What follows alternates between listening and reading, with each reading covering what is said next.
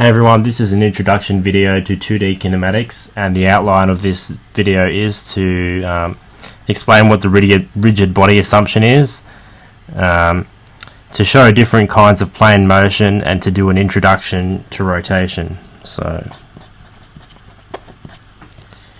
um, the first thing is that the rigid body assumption is simply the assumption that the body being observed will not deform in any way this simply means that the length between any two arbitrary points on any given rigid body will remain the same without time dependency. Okay, that's rigid body assumption done. So, plane motion. Plane. Uh, this is a two-dimensional motion on any given plane with respect to an arbitrary set frame of reference. There are three kinds of plane motion, all of which are explained in this video. You have um, translation, which is the movement of a body like so with the same motion as the center of mass. So if this body, if the center of mass moves here, then so too does the rest of the body but their lines remain parallel. So anywhere on the body, so we'll label this A, this B, this A dash, B dash. So A, A dash is parallel to B, B dash, which means that the body remains parallel. Um, we can have rectilinear, which is the example you just saw here, or you can have curvilinear. So that's the example just seen. Curvilinear is like so.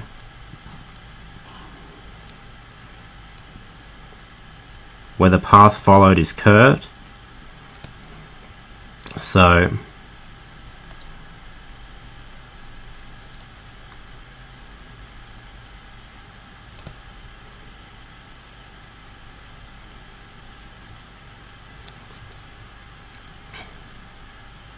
the body ends up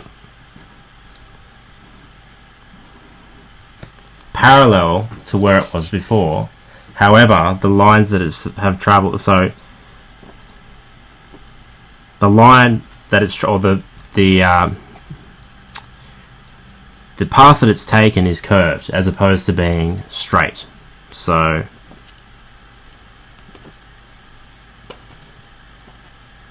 That's our center of mass. This is this is B and this is B dash. Okay, uh, fixed axis rotation. So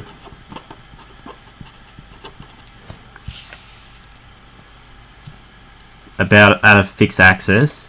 So say this is our fixed axis, and we have a body like well it doesn't really matter, matter the shape of a body. If if we have any body you know something shaped like this and it rotates about that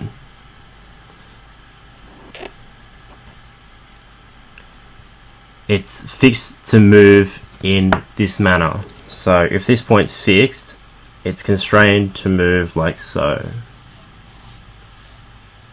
which is what's going to happen about this point O. So if you have a point A here, it can move to this point here if we have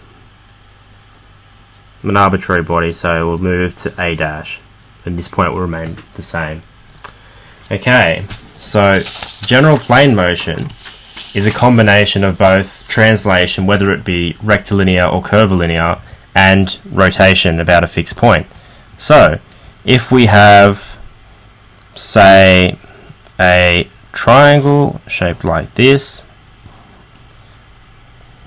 and it translates, well, it's going to translate and rotate, but you'll see that in a second. It will translate here. So, at that point is the same as what it was moves to, to here. I should probably draw my triangle a bit better. But you get the picture. This is another triangle, so this is where this triangle A, B, C has moved. So A dash, B dash, C dash, it's moved to there. And then it's going to rotate about its center. So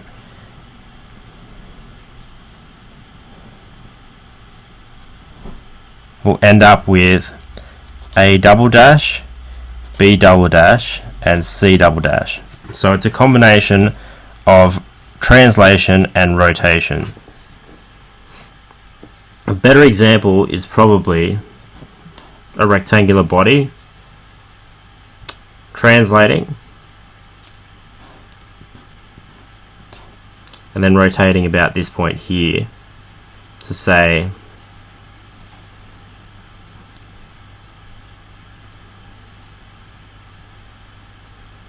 something like that. And something like that we can have